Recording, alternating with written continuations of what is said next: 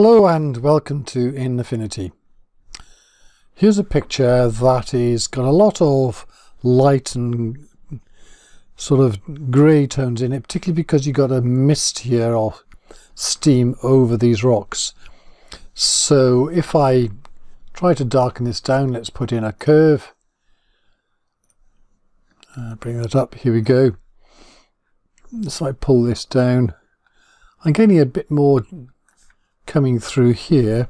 But what's happening is the very darks look down here things like this are just too intrusive um, they're grabbing the eye. So what I'm going to do with that is I'm going to pull that one up. So you can see when I pull it up see what happens. This goes grey because what was black is now a grey colour. And what I might do now is if I pull this one up a bit here, I form a kind of spoon shape.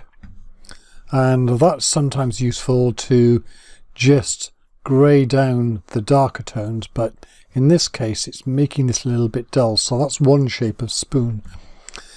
But I can do another shape of spoon instead. I'm going to keep that like that. And this is going to be the top of the spoon now, because I'm going to turn this into a little bit of an S curve up here like that. And this one here is going to keep this not quite so black. But now the spoon is down here. And this is up there like that. So just enough to, don't want to make this too bright there. But I'm getting more contrast into the middle now without these blacks suddenly jumping out and hitting me. So there we go. There's my spoon. But Making curves look like spoons can sometimes be just what you want. Anyway, I hope you like that one and thank you very much for watching.